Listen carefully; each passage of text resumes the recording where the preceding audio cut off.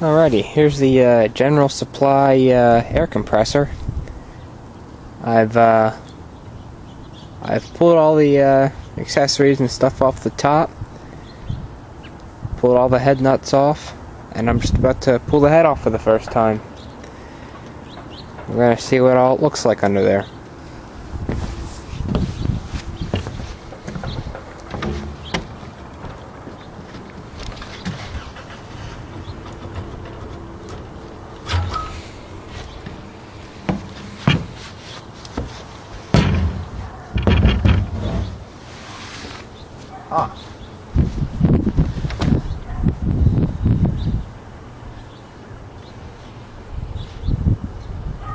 Oh, I see a, problem right off the start. Oh boy.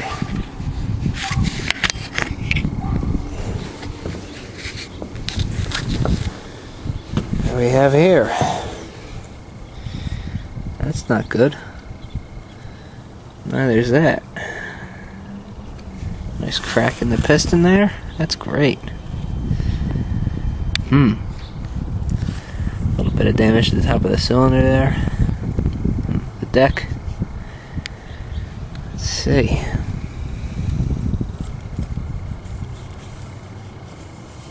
Hmm. Everything else seems alright so far.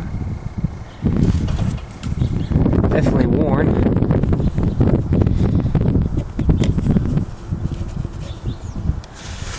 Pretty neat. They uh, have little blanking plates where the uh, regular valves would be.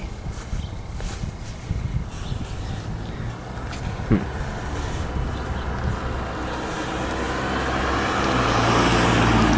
Because remember, it's this this uh, whole cylinder here is an is engine. This is engine.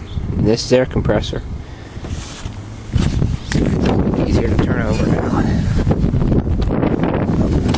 Not really. I think the starter's engaged. I'm trying to turn that. Ah. I can't get a good grip on that pulley down there to turn it. Hmm. Interesting. Let's see what caused that. Here's the cylinder head.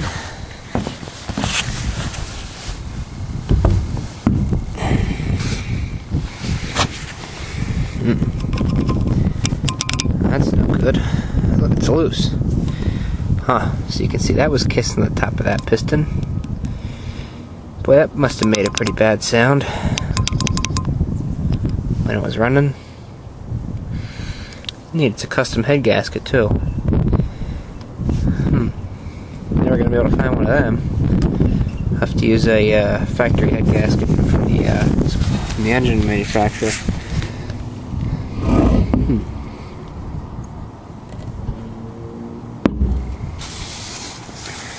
Speaking of the engine manufacturer, a lot of people commented on the uh, first video. A lot of suggestion suggestions that this was a uh, a Willys engine, and uh, I had one guy in particular. Uh, the, his name is uh, Mr. Comatose. Uh, he thinks it's a, an engine that would have been in a a CJ2A model Jeep. Um, that engine model would be uh, the 4-134. I believe that stands for four cylinders, 134 cubic inches or something like that. I'm not sure. But anyway, I was able to look up the specs for that engine and uh, stroke. So uh, I'm gonna go grab a little scale and measure measure the cylinders real quick. See if we can confirm this.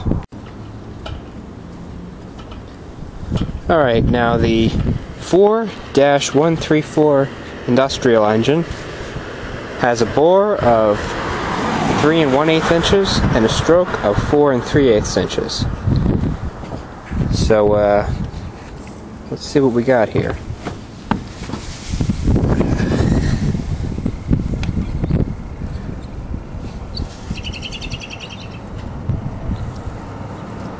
Looks to be 3 and an eighth.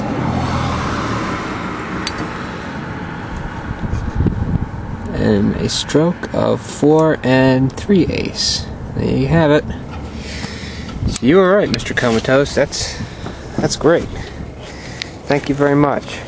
Now at least I know where to start as far as uh, parts go. Because obviously I'm going to need a piston to start out with. Uh, of course, head gasket. And you give me a place to start on the search for uh, a charging system, generator and regulator and whatnot. So that's great. I thank you very much.